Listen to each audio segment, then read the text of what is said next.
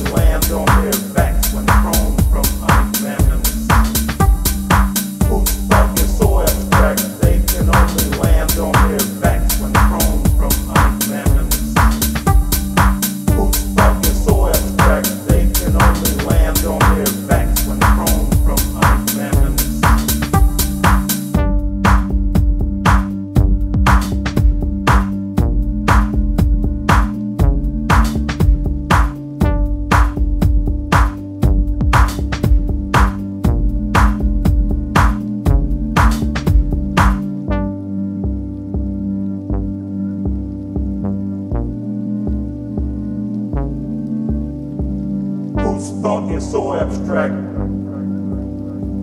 they can only land on their back.